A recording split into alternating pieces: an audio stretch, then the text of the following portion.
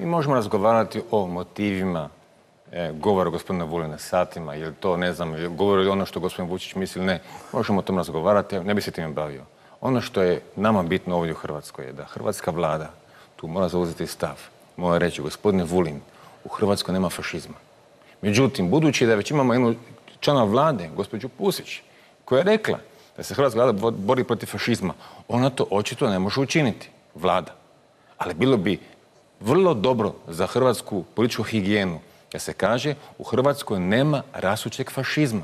U Hrvatskoj ima incidenata, poput onoga u Poljudu, i mi zahtijevamo da se što prije otkrije tko je to počinio, to je za Hrvatsku jako štetno, za imidž Hrvatske i za hrvatski nogomet, ako hoće, i za hrvatsku politiku, ali hrvatska vlada mora jasno reći, gospodine Vulin, vama naša, nama vaša pomoć nije potrebna. Ili, ako ona treba tu pomoć gospodina Vulina, reći, gospodine Vulin, hvala vam što sudjelujete u našoj kampanji za parlamentarne izbore, ali to neće pomoći.